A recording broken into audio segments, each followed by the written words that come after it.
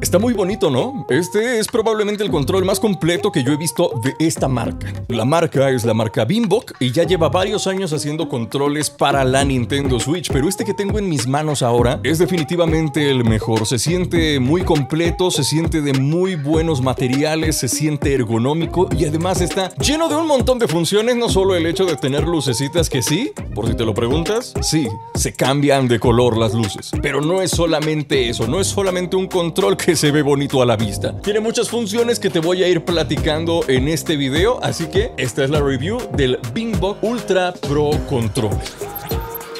En cuestión de diseño, el control tiene una forma muy similar a lo que encontraríamos en un control de Xbox, que yo creo que para muchos, no diré la mayoría, pero sí para muchos es el control más cómodo o más ergonómico que te vas a encontrar en el mercado, pues este control mantiene esa forma, la distribución de las palancas, de los botones, etcétera, es la que conserva Xbox hasta el día de hoy y la que también tiene, por cierto, Nintendo Switch, porque este control es para Nintendo Switch, sí, pero también viene con un adaptador USB que te sirve para poderlo conectar a tu PC y poder jugar también juegos de PC. Eso, sumado a todas las funciones que tiene, te van a mejorar muchísimo la experiencia de juego, porque en primer lugar es ergonómico, ya de entrada. Aquí en la parte de atrás tiene la tapa para las baterías, pero espérate, ya sé lo que estás pensando. No, no, no.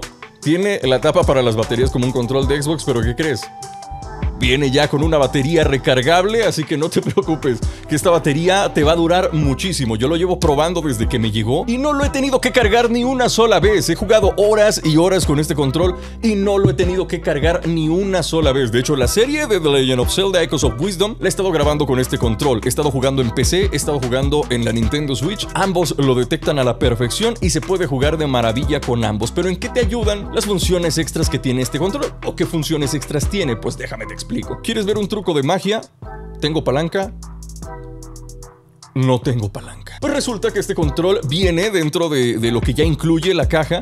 Viene con unos repuestos de estas palanquitas, pero son para diferentes tipos de usos, para diferentes tipos de manos. Todos somos diferentes, todos nos acomodamos de forma diferente. Pues viene con estas que serían las palancas estándar viene con unas que son mucho más pequeñas, y cuando digo pequeñas es más pequeñas que las de la Nintendo Switch, y viene con unas que son un poco más largas, más prolongadas, por si alguien tiene los dedos muy largos y estas palancas se le hacen muy cortas, pues tiene unas palancas que son mucho más largas, además de que esto que es la cruceta también se puede reemplazar. Ay, que ya se me cayó. También se puede reemplazar esta, que es la cruceta. Se puede reemplazar por la, eh, la que se está utilizando mucho últimamente, que es la que es todo un círculo completo. No sé exactamente cuál es el nombre de esa, pero tiene los dos tipos de crucetas. Que ya de entrada, el que lo puedas personalizar de esta manera es increíble. Para elegir las diferentes funciones de sincronización, porque ojo, que no nada más Nintendo Switch y PC. Ya al principio dije que también para que solo para esos, pero es que eso dice en la caja. Ya cuando lees el instructivo te das cuenta que también se puede conectar a los teléfonos celulares y para eso tiene esto de aquí abajo, que es un pequeño switch que tú lo desplazas a las diferentes letras y con eso te permite sincronizarlo a los diferentes dispositivos y lo mejor de todo es que no necesitas desvincularlo de uno para poderlo vincular a otro. Por ejemplo, yo si estoy jugando en PC, ahora mismo el control está encendido porque está conectado a la computadora. Y lo tengo en esta que es la letra D, que es para, para jugarlo en la computadora. También lo tengo sincronizado a la Nintendo Switch. Cuando yo quiero jugar en la Nintendo Switch, lo único que tengo que hacer es mover este Switch hacia el lado izquierdo, hacia la S, así, acá, de este lado. El control se apaga y si yo presiono este botón, se va a encender la Nintendo Switch porque ya está sincronizado con ella. Que quiero jugar en la PC, lo paso de nuevo para acá enciendo y se sincroniza con la PC. No tengo que estar vinculando a uno y vinculando a otro y eso es un gran toque. Porque para una persona que disfruta de estar jugando en diferentes dispositivos, pues te ahorra muchísimo trabajo y es muy fastidioso tenerlo que estar desvinculando y vinculando al siguiente dispositivo, ¿no? Ahora, si lo que estás buscando es un Pro Controller en toda la extensión de la palabra, déjame decirte que aquí es. Porque no solamente cuenta con los botones principales que debe de tener un control, sino que aquí en la parte de atrás tiene estos dos que son programables los puedes programar como tú quieras.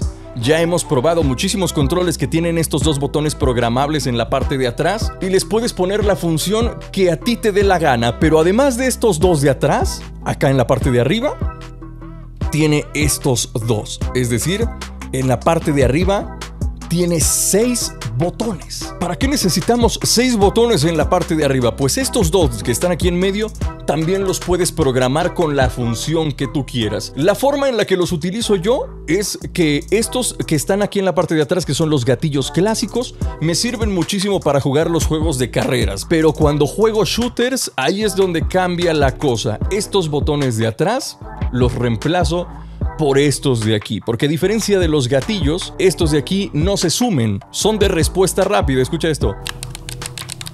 ¿Te das cuenta? Es una reacción rápida, es un switch rápido que simplemente lo presionas y ¡pum! Está el disparo. Ese es el uso que yo les doy, pero realmente tú lo podrías programar con la función que tú quieras cualquiera de estos cuatro botones, ya sea los dos de atrás o los dos de arriba. Tú decides qué haces con ellos. Tenemos también en la parte de atrás estos tres botones en la parte de abajo, que uno es para poder configurar el turbo, porque también tiene la función de turbo este control. Tiene el M, que es para poder programar cualquiera de los cuatro botones que ya mencionamos anteriormente y además tiene un tercero que te permite controlar el nivel de vibración o simplemente desactivarla por completo si te molesta. Tiene estos tres switches también que yo los tengo ahorita apagados pero que también tienen diferentes funciones. Uno te permite hacer que el control detecte el movimiento como si fueran las palancas independientemente del juego que sea si el juego tiene o no función de detección de sensores de movimiento, aunque no lo tenga, si tú activas esto, con mover el control se va a mover la cámara en el juego. Esto lo puedes utilizar ya sea para mejorar la puntería en los shooters o qué sé yo. Tiene otro de los switches que te permite mover la zona muerta de las palancas, es decir, para que sean mucho más sensibles de lo que de por sí ya son. Tenemos en la parte de abajo también un botón de sincronización, por supuesto, para poderlo sincronizar ya sea a la PC o a la Nintendo Switch tiene su puerto de carga USB tipo C. Tenemos en la parte de enfrente los botones eh, necesarios para hacer todas las funciones normales, el más y el menos, porque les recuerdo que principalmente es lanzado para Nintendo Switch. Tenemos un botón que sería este circulito que sería como para tomar las fotografías, el, modo foto de la Nintendo Switch, y el Home sería este que es el botón central. Y este de aquí es simplemente para cambiar el color de las luces. Si lo presionamos varias veces irá cambiando de las tonalidades. Si lo dejamos presionado, cambiará el brillo de el control que ya les digo que tiene muchísimo brillo. Podemos ir rotando en los diferentes estilos de brillo y si lo presionamos dos veces, eh, cambian las funciones del tipo de luz que tiene. Es decir, puede cambiar todos los colores, puede hacer una rotación de todos los colores. Si lo presionamos dos veces más, regresa a lo que serían colores sólidos o poner un color de un lado y otro color del otro lado.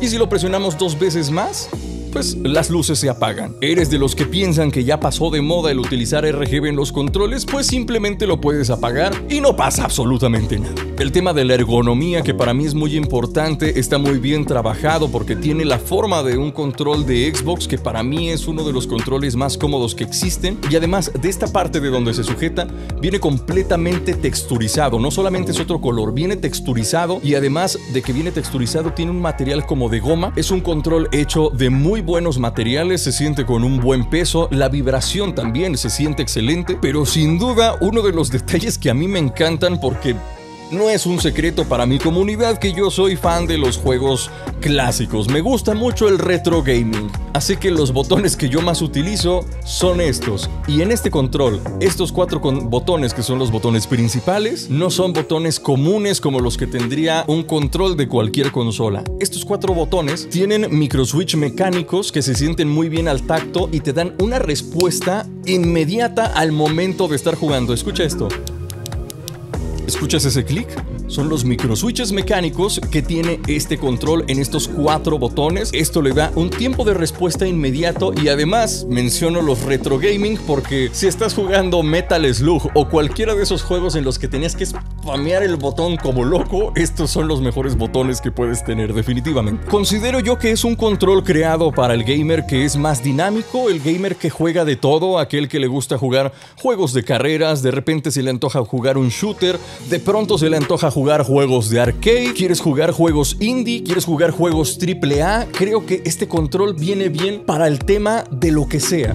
Y pues bueno, este es el Ultra Pro Controller de la marca Bimbok. Muchas gracias a la banda de Bimbok por patrocinar este video y darnos la oportunidad de probar este control. De verdad estoy muy cómodo jugando en PC con este. Creo que ya es mi control principal actualmente para jugar en la computadora. Platícame abajo en los comentarios qué te parece este control. Si estás interesado en adquirirlo, te dejo abajo en la descripción el enlace y en el primer comentario el enlace para que puedas checar y darte una vuelta en la tienda de, de para que puedas comprar este control si te interesa y un codiguito de descuento de parte de su amigo Epsilon GameX. Sin más por el momento, muchas gracias por haber visto este video. Yo soy Epsilon GameX y nos vemos la próxima.